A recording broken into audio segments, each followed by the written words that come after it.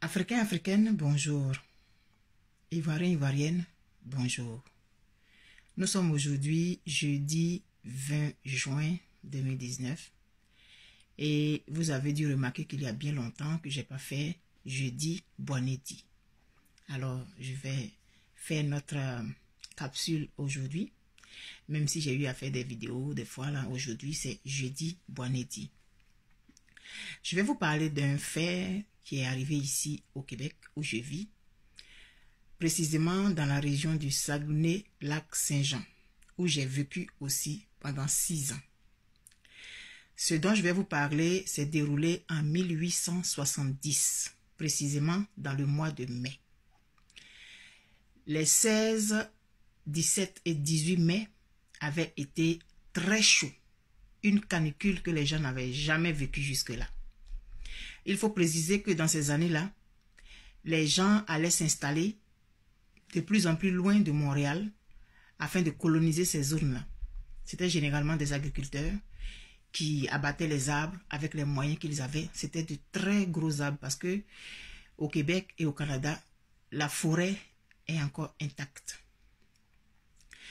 Et donc, les gens, ils habitaient, au fur et à mesure qu'ils avançaient, ils créaient des villes, ils créaient des villes, ils créaient des villes. Et quand ils débroussaillaient les, les surfaces pour faire les champs, les souches, les, les souches et puis les morceaux de branches et tout ça là, dont ils n'avaient plus besoin, ils les stockaient.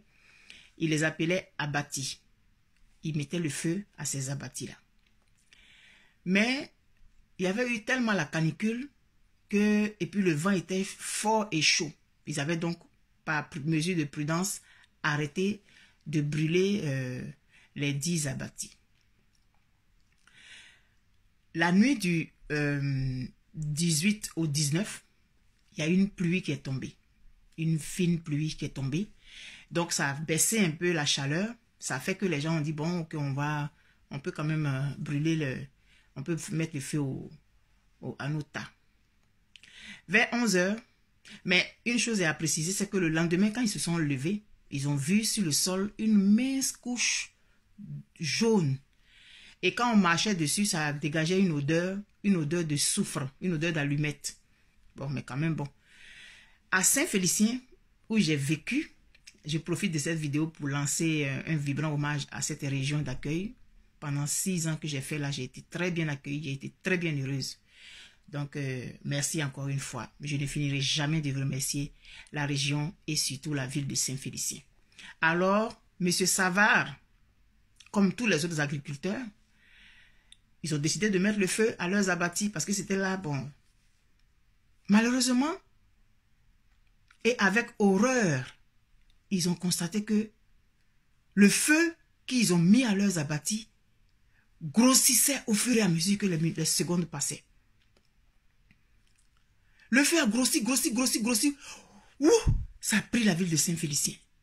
Saint-Prime, Robertval, Métabétuan, Saint-Gédéon, avant de prendre vers la droite pour aller à Chicoutimi. Le feu allait à 20 km à l'heure. Et en 7 heures de temps, 3800 km ont été dévastés par les flammes. Plusieurs parmi eux ont eu la vie sauve en sautant dans les cours d'eau, en courant de toutes leurs forces et puis essayant de des écoles ont, été brûlées, des, des, églises, des fermes, des animaux. Tout ce que le feu trouvait sur son passage était automatiquement cramé. Sept heures plus tard, le feu s'est arrêté. Au Saguenay. Parce que le lac Saint-Jean et le Saguenay sont deux régions différentes qui se sont mises ensemble pour faire une seule région on, a dénombré sept morts. Plus de 6000 personnes se sont retrouvées dehors, dans la rue. Elles ont perdu leur maison, elles ont perdu leur, récolte, elles ont perdu tout, tout, tout, tout, tout, tout, tout. Mais la solidarité aidant, les gens ont fini par se retrouver. C'est un souvenir très douloureux qui fait partie du patrimoine culturel, du patrimoine historique du Saguenay-Lac-Saint-Jean. Et c'est appelé aujourd'hui le grand feu de 1878. Mais, des temps plus tard, les gens se sont rendus compte que le feu les avait aidés dans une certaine mesure. Parce que toute cette forêt vierge qui n'avait pas encore été touchée, que les gens étaient, euh, euh, étaient allés coloniser, ces terres, les terres que les gens étaient allés coloniser, le feu a contribué à brûler une partie de cette forêt, les aidant ainsi en faisant une sorte de déforestation, mais en fertilisant par le fait même la terre. Autre côté positif que la région a tiré, c'est l'apparition du bleuet. Le bleuet, c'est un fruit culte du Saguenay-Lac-Saint-Jean, mais plus précisément du lac Saint-Jean, d'où le feu est parti. Ce fruit-là est apparu après le grand feu. Aujourd'hui, le bleuet a son festival à Dolbo Mistassini, qui est une ville voisine de Saint-Félicien. Chaque année, on célèbre le bleuet. Le bleuet du lac Saint-Jean est vendu partout dans le Québec et aussi dans le Canada.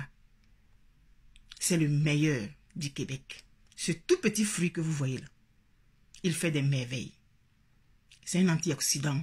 On fait des biscuits avec, des, tartes, des, des, shampoings, des masques pour le visage. Tout.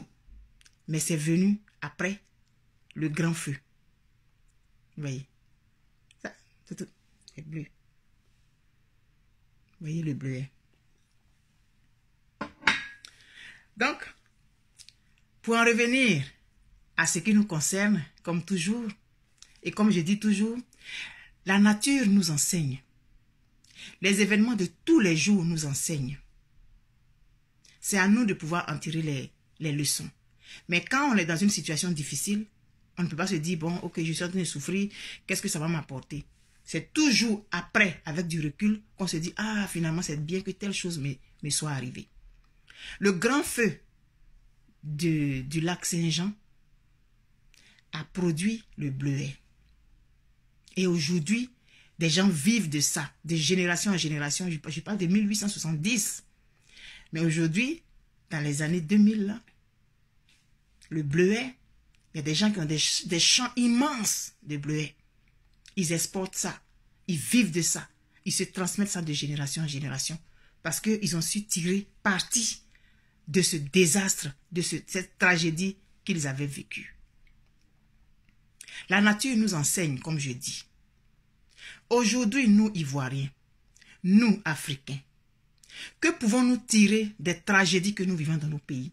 Moi, aujourd'hui, je constate que la crise qui est survenue en Côte d'Ivoire, plus le temps passe, plus elle révèle une certaine, une nouvelle génération d'Ivoiriens qui prennent de plus en plus conscience de la chose nationale, qui prennent de plus en plus conscience de leur pays. C'est un avantage. Quoique les morts que nous avons eus sont à déplorer. Mais on va dire, à la limite, à quelque chose, malheur est bon. Parce qu'avant ça, l'Ivoirien vivait, il était insouciant et tout, il avait tout. Mais la crise a permis qu'aujourd'hui, on s'asseye et qu'on s'interroge. On nous traite de ci ou de ça. On nous fait un mauvais procès. Et les gens savent très bien qu'ils nous font un mauvais procès ils utilisent d'autres personnes pour véhiculer des informations qui ne sont pas vraies. Aujourd'hui, on n'a plus peur de se faire traiter de xénophobes. Nous ne sommes pas xénophobes. Mais l'Ivoirien dit aujourd'hui, la Côte d'Ivoire d'abord, à cause de la crise, à cause de la raison qu'on a donnée pour faire cette crise. Au bout du compte, on va dire que c'est un avantage, ce que nous avons vécu. D'autres peuples avant nous ont vécu des choses qui les ont, qui euh, rendus forts. Le Japon, on parle toujours du Japon, de Hiroshima et tout. Aujourd'hui, le Japon est où? La Chine a vécu ses affaires avec la Mongolie et tout. Mais aujourd'hui, ils sont où? Il faut que nous puissions tirer leçon des crises, des tragédies que nous avons vécues pour nous propulser dans le futur. Et c'est avec un certain plaisir que je remarque que de plus en plus, les Ivoiriens ont tendance à penser à leur pays. Il faut que nous pensions pays. Ceux qui décident de venir vivre avec nous, nous demandons d'eux le respect. Et puis, il n'y a pas de problème. Alors, moi, je vous exhorte, Ivoiriens, que nous tirions profit de cette tragédie que nous avons vécue pendant combien d'années? Il y a plein de pays dont on parle. Tous les autres pays africains qui traversent des difficultés aujourd'hui, il faut à un moment donné regarder ce qu'on peut prendre de positif dedans. Quand dans une famille, on a un décès, on sent que les liens se rapprochent pendant les funérailles. Alors, ce que nous avons vécu en Côte d'Ivoire et que nous continuons de vivre, l'exacerbation d'une certaine fibre nous emmène dans le sens contraire. Plus on nous taxe, plus on nous crucifie, plus on a envie d'aimer notre pays, plus on a envie de s'affirmer. C'est ça le côté positif que moi je dénote dans ce qui nous est arrivé. Comme le bleuet qui est apparu au Saguenay-Lac-Saint-Jean, mais précisément au lac Saint-Jean, à Saint-Félicien, qui a généré le bleuet, la crise en Côte d'Ivoire doit créer aujourd'hui une nouvelle génération d'Ivoiriens responsables, amoureux de leur patrie, jaloux de leur patrie, prêts à défendre les intérêts de la terre que leurs parents leur ont légué, que eux aussi vont léguer aux générations futures. Alors, voilà ce que je voulais partager avec vous. La nature, elle ne fait jamais rien au hasard. Quitte à nous d'en tirer les, les, les, bénéfices comme les gens ont su le faire au lac Saint-Jean avec le bleuet qui est apparu après le grand feu. Les événements de la vie, les tragédies que nous vivons doivent nous permettre de tirer les leçons et de nous propulser dans le futur. Alors la nouvelle génération d'Ivoiriens que je suis en train de voir, qui pense pays, j'applaudis. Mais l'Ivoirien, il est très respectueux de tout le monde. Ce n'est pas parce que nous parlons de notre pays que ça veut dire que nous rejetons les autres. Celui qui décide de venir vivre avec nous, on lui ouvre les bras. Quand tu reçois quelqu'un chez toi, tu t'attends à ce que la personne respecte les règles qui sont chez toi. Alors, donnons-nous des règles. Donnons-nous des règles pour que dans le futur, nous soyons respectés et que nous-mêmes, nous respections ces règles-là. Alors, je dis bienvenue, je dis bonne arrivée à cette nouvelle génération d'Ivoiriens qui pense à son pays, qui, trouve quelque chose autour duquel se retrouver. Et moi, je suis apôtre de cela. La Côte d'Ivoire d'abord et ce qui fait notre identité, c'est l'ivoirité. Alors, bisous à vous. Bye bye.